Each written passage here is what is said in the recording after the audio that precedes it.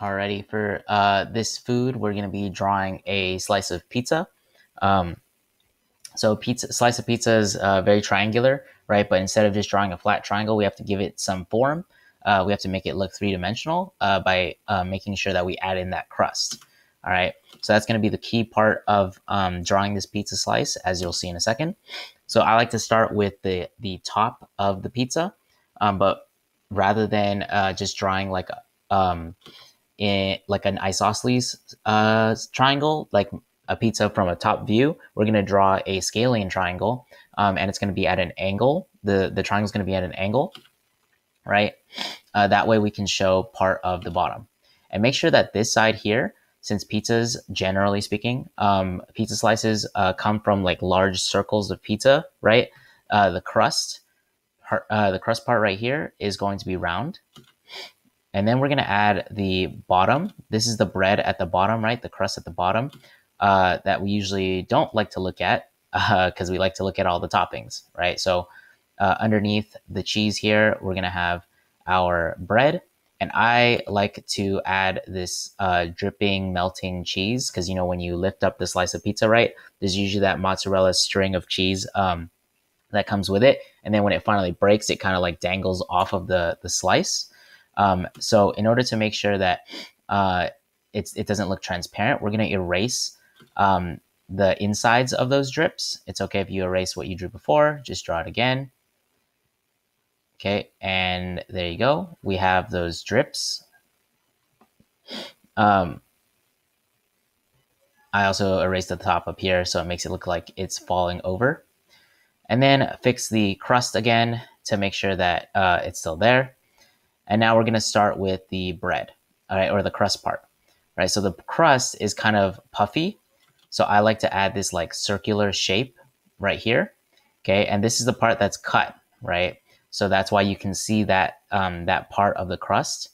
Uh, then this line on the outside should be pretty much the same curve as this line or this line here. Okay, so uh, in order to figure out where you should stop, I like to draw this end. It should match this end here, right? So this side and this side should be the same. You don't have to draw this like bottom part, but you just need to draw the top part, right? And then connect the, um, the back here with a curve. And you pretty much have a cheese, at this point, you pretty much have a cheese pizza slice. I'm just adding in some lines here, some curved lines to make it look puffy. And that's pretty much a cheese pizza slice. Okay, but I'm going to be adding in some toppings now, right? So uh, pepperonis are just going to be little ovals. Oh, hold on, I'm still adding some other stuff. All right, there you go. So pepperonis look like little ovals. Um, make sure uh, you spread them out. Don't just like, I know sometimes in real life you want a bunch of pepperonis, but here, right, spread them out so that way it doesn't look so um, fake. Uh, it looks more like a, a regular pizza. And then if you want to draw mushrooms, you don't have to draw like all the little details of the mushrooms. It's literally just like uh, a half circle or a semicircle with a little like rect square attached to it. Um, and if you're drawing something like this, like a mushroom, make sure they go in different directions.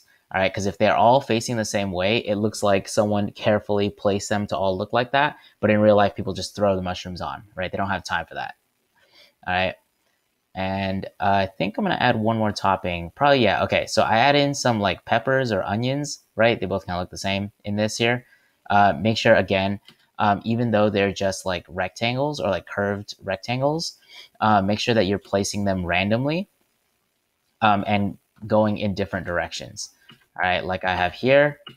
And that's pretty much how you draw a pizza slice. All right. You don't have to have this many toppings either. You can have fewer toppings uh, and then have other slices with more toppings later. Um, you just want to practice uh, the main shape, um, which is just the, a cheese pizza. And if you can, add in some pepperonis because those are the easiest types of, draw, uh, of toppings to draw.